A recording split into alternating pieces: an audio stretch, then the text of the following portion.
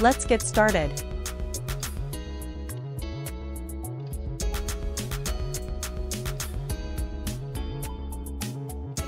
Nineteen thirty-six, Fred Neil.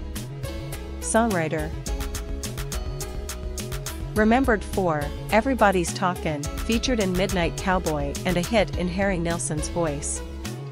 Also a Grammy winner for the mentioned single. He also wrote Baby Come Back, Buddy Holly, and Candy Man, Roy Orbison. His father sold jukeboxes. Born on March 16, 1936, Fred Neil was a prolific songwriter best remembered for his influential contributions to folk and rock music. One of his most notable songs, Everybody's Talkin', achieved widespread acclaim after being featured in the film Midnight Cowboy and becoming a hit when covered by Harry Nilsson. Neil's original version and Nilsson's cover both garnered significant attention, with Nilsson's rendition winning a Grammy Award. In addition to Everybody's Talkin', Neil penned other memorable songs that became hits for renowned artists.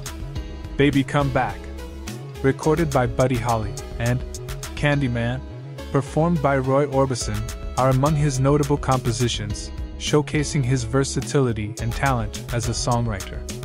Neil's upbringing likely influenced his musical career, as his father was involved in the music industry, selling jukeboxes. This exposure to music from a young age may have sparked Neil's passion for songwriting and performing.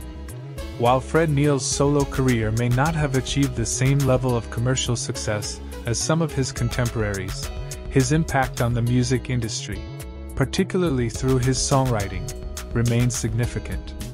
His songs continued to be cherished by fans and revered by fellow musicians for their emotional depth, poetic lyrics, and timeless appeal. In this series, we're paying homage to the musical legends who were born on this day.